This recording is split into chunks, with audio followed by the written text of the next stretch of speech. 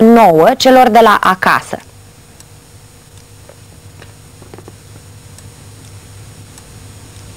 Să vedem acum material, promis.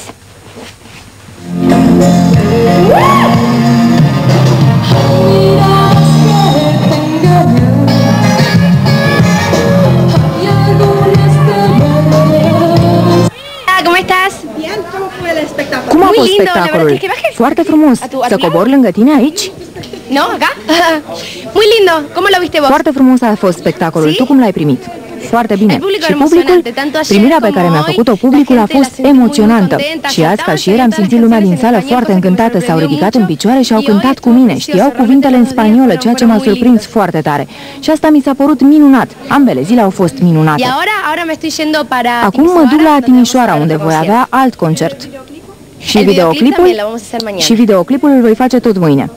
Cum se numește piesa pentru care faci videoclipul? ¿Cómo te olvido? La canción del videoclip. Se que numește será en Como España, te olvidó olvido și es este el al tercer treilea corte del single de segundo pe disco cel que de-al viene. doilea album al meu, Tu Veneno.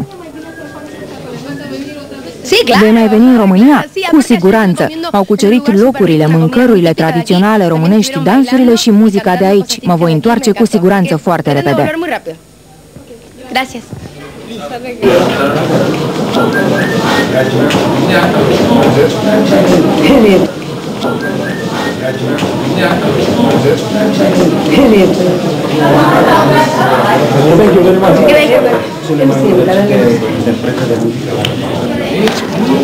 Pito, pito,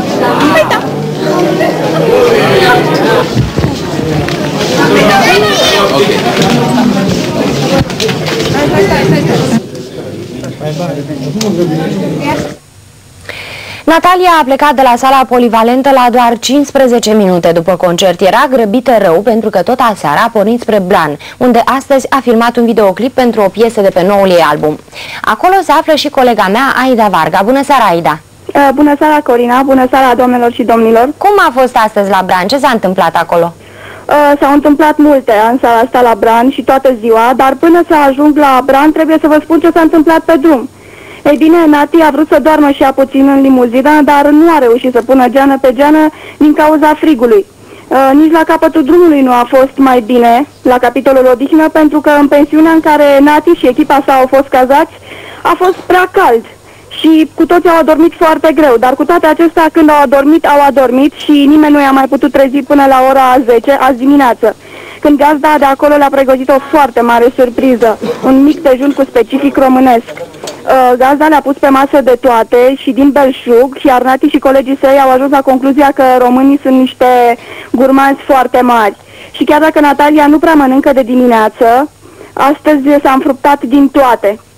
Uh, și la Bran, ca peste tot, a fost uh, luată cu asalt pe fani.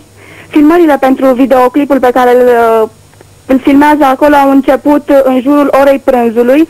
S-a întârziat cam o oră, o oră jumătate din cauza că una din rochile pe care Natalia trebuia să le îmbrace la filmări uh, s-a murdărit, a, f- a trebuit să fie dusă la spălătorie, nici până acum nu s-a uscat. Se pare însă că o va purta așa, umedă, la filmările acestea, Natalia va purta trei rochii. Pe două dintre ele le-a închiriat de la unul dintre cele mai mari teatre din Buenos Aires și nu cu foarte puțin bani. Doar pentru una dintre ele a plătit o garanție de aproape 10.000 de dolari.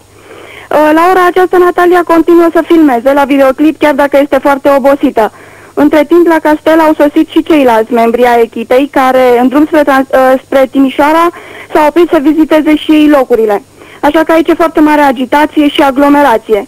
Filmările se vor încheia, cred, târziu în noapte, cu o scenă foarte frumoasă în care Natalia se va plimba într-o caleașcă pe aleile din jurul castelului Bran. Trebuie să vă mai spun că uh, tot timpul în fața castelului au fost zeci de fani care au strigat uh, Nati, Nati într-una și ce mai, sunt acolo de aproape 10 ore și o așteaptă să iasă. Cam atât de acolo. Aida, îți mulțumesc foarte mult. A fost Aida Varga de la uh, Castelul Bran. Am văzut așadar în uh, premieră uh, câteva imagini, imagini de la filmările videoclipului Natalie Oreiro filmat aici în România la Castelul Bran. Unul dintre cei mai faimoși